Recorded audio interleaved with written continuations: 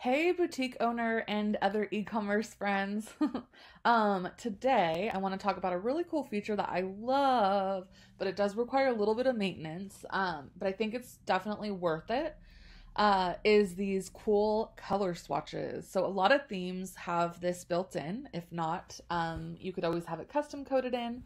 But if it's something that's really important to you, it might be the kind of thing that's worth, you know, like being on your features list when you're picking what theme you're going to go with and then you're making sure that you pick a theme that has as many of the features that you want on it. So this is one of those things. So these color swatches. Now, you'll notice that right off the bat if you have these color swatches turned on, sometimes the colors are not exactly the shade that you would want and sometimes they're just white and the colors are just not even there, particularly if you have a pattern or a unique color name. Now, what happens is that these themes that have this built in, they're pulling colors from a very, very basic set of color codes. And um, so any color that's out of the ordinary, and even some that like I would consider very ordinary, um, like well at least in our industry i mean like mauve for example okay maybe that's not that ordinary but to me it is and mauve would not show up it would show up as white any pattern. So striped, leopard, um, if you had like a sequin or a floral, like none of that is gonna, you know, how could your theme possibly know what uh, leopard means? Because even within leopard, there could be different patterns of leopard, which I don't know how deep you want to go into that anyway for these tiny little swatches. Um, also, some themes, the swatches are bigger. So this one, they're quite small, but sometimes they're square or larger circles. So that's just something to look at when you're trying to pick the right theme, uh, or if you're having these coded in. But okay, it's really easy though to keep this updated. Um, but here's a couple recommendations. One is if you can start to try to streamline the names, so the variants that you're using for your colors or patterns or prints or what have you. So if you normally have for for pink for example, if you normally have like 15 different colors that you sometimes use for pink, can you narrow that down? Maybe not all to just one pink cuz maybe you do still have multiple. Like maybe there needs to be a fuchsia and a mauve. Um and but maybe is that enough or do you need like 3 but you don't need like 15 cuz this will help you so that when you're adding new products you don't have to worry every time about the colors needing to be updated in your themes coding which I'm going to show you how to do. Um so that's just a tip. Now the only issue I can see is I know that some clients will some boutique owners will use the the color names that the vendor used. So that way, say that they had to reorder, they can remember exactly what color. Because I know there are some brands that could have multiple shades of pink in one dress, and you can't remember like even which one you ordered. Um, so if that's the case, then you may want to keep using your, you know, your color names as you have been. But if that's not the case, if you can start to streamline, then eventually you won't have to worry about adding new colors to your theme, like I'm going to show you. Um, I always refer when I'm talking to clients, I always refer to uh, a client that I had early on that had we dealt with this and she had I think they were like some earrings that were um wild mushroom was the color. I mean, there's no way the theme was going to pick up on that. And if you always used unique names like that for the colors, then you're going to have to constantly be adding new color swatches to your theme's coding. So it's just something to think about if you can start to streamline that. Anyway, let's get to it. So for this one here, um, let me click into the product so we can take a look at what these are supposed to be. So she's supposed to have burgundy, and then this one is showing up as black white. Oh, so on the other screen it was showing white. Interesting. But we could actually change this to striped. Um, Although black slash white on another product may not mean striped, so that's something you want to think about. But for this example, I'm going to change this to black slash white, and I'm going to update what burgundy is on her theme. Navy, see, to me, navy would be darker than that, so that's something else you could update. So when you do update your colors, they're going to override whatever the theme was already pulling. So if you wanted to add something new for navy that you didn't feel like this was navy enough, you could just add it like I'm going to show you and it'll override what's there. And same with olive. That to me is more of a, a baby poop um color than an olive. Well, see, I like olive, but that to me is baby poop. So anyway, um, so let's just get to it. You're gonna just open whatever basic graphic design program, whatever it is that you use, it doesn't matter. Um, in this example, I'll show Canva because that's certainly the easiest. So go ahead and do custom dimensions and just pick something small like 200 by 200 and do a square. And then here you're going to just have this be the color or pattern that you want to use.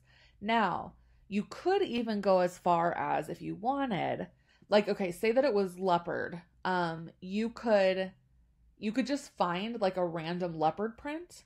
Like, for example, on here, uh, leopard. You could just use this, right? Or you could actually take a little screenshot.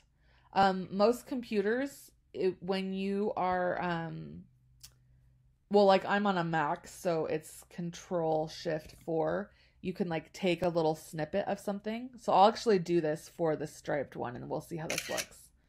Um so you could do that, especially if it's like a floral print, but I know again, floral like you could have 10 different floral items, they're going to be totally different florals.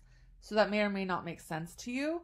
Obviously, just think about how deep you want to go with this, you know, like how much time do you want to spend on this? Um but anyway, so, uh, let's see. We were gonna do burgundy, so we'll go to background, and um, let's see if it'll let me do it this way. Actually, I haven't done that. No. All right, so we're just gonna pick a color, and then we're gonna open this, and we're gonna pick something that is that's a little darker. This, and obviously, doesn't have to be perfect, perfect. But okay, so this is pretty burgundy to me. So um, you're gonna name it Burgundy, and it's important that this is in lowercase. And if the if the variant name is two words, like say that it was light burgundy, I know that's not really a thing, but say it was, it would need to be light dash burgundy, exactly like that. It has to be exactly like that, all lowercase. But this is just burgundy, so we're just gonna download it. And um, PNG is fine. If you ever have an issue some themes I think require a JPG rather than a PNG, but I think this theme is fine with PNG, so we're gonna stick with that. Okay, then where are we here? Um, we want to change the black and white. Um, so for that one, I'm going to upload um this little swatch guy that we made, and we'll see how this actually looks. Um, this is blurry, but oh, what did I do there? Let me try that again. Um, let's see how big I can go. It's still going to be kind of blurry, but because that circle is so small, I think it'll be fine. Um, let me just take a bigger snippet. Okay, so let's try this again.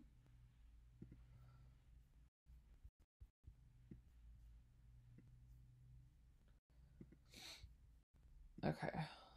Yeah, this will be better. No, what the heck that is. All right.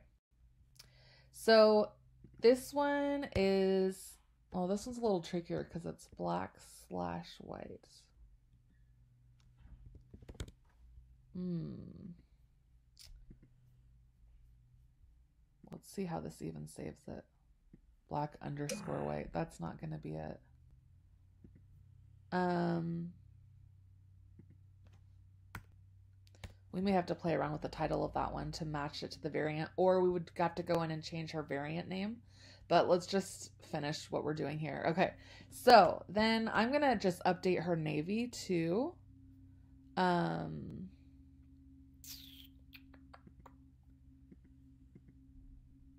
to, let's get blue here. See, that's more navy to me, but navy. And then the olive as well, I did not love. Okay.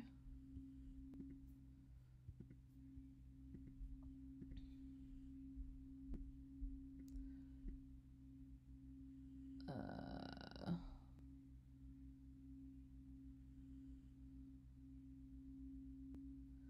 olive is a tough one too. I think like this is more hunter green.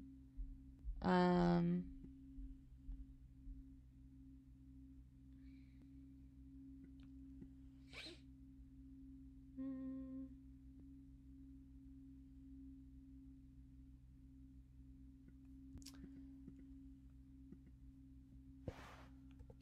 Oops, olive. Okay. Olive could probably be up to a little bit of interpretation. Um, it's probably something in between what was already there and what I've done, but we'll just go for it for right now. All right, so what we're gonna do is we're gonna go into her your Shopify account, right? You're gonna go to actions and edit code, and you're just gonna add these as assets. So you're gonna go to assets, add a new asset. You can only do one at a time. So you're going to add in these, and again, that black and white is probably not going to work. We're going to have to figure out how to name that one, but let's just give these a go.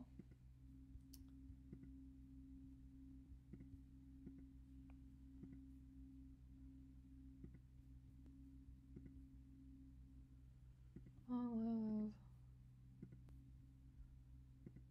And